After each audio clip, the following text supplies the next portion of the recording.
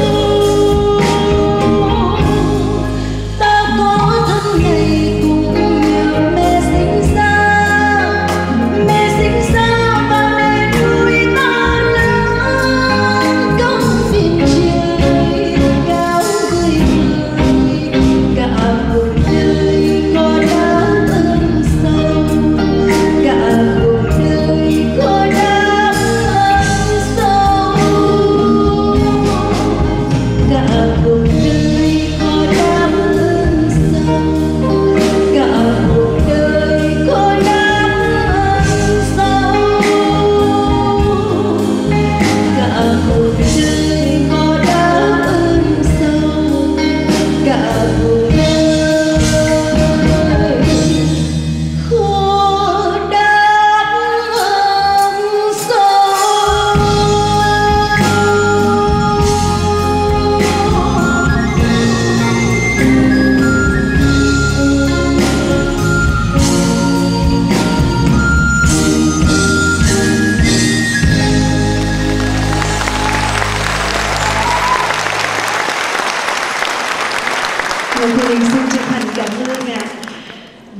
thưa tất cả quý vị, đã hát cho quê hương, đã hát cho mẹ, cho cha.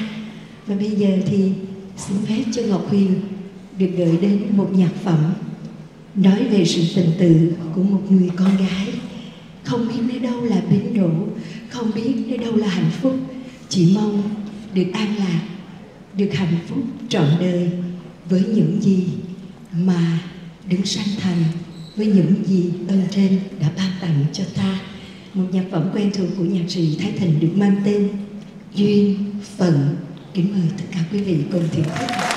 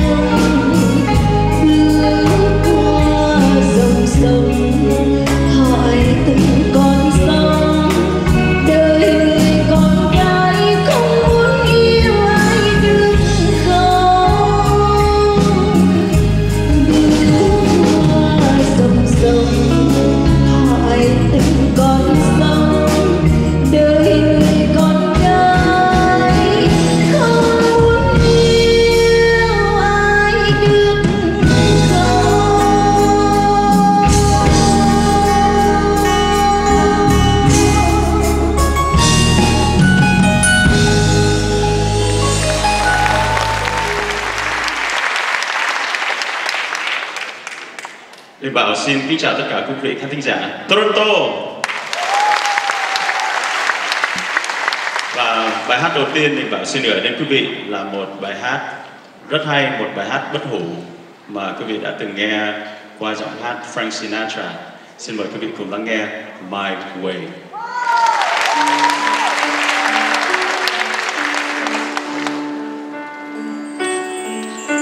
And now the end is near, and so I faced the final curtain. My friend, I'll say it clear, I'll state my case, of which I'm certain. I've lived life I've traveled each and every highway, but more, much more than these, I did it my way. Regrets,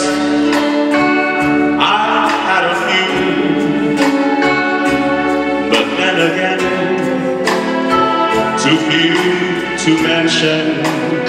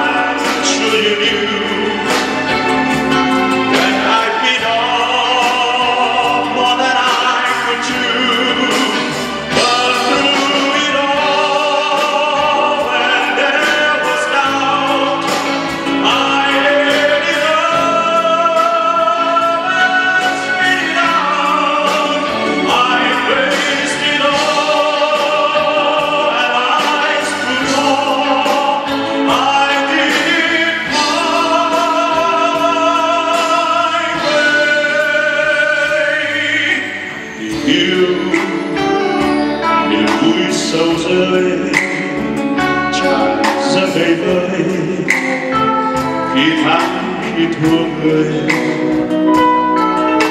Và khi lệ không còn rơi.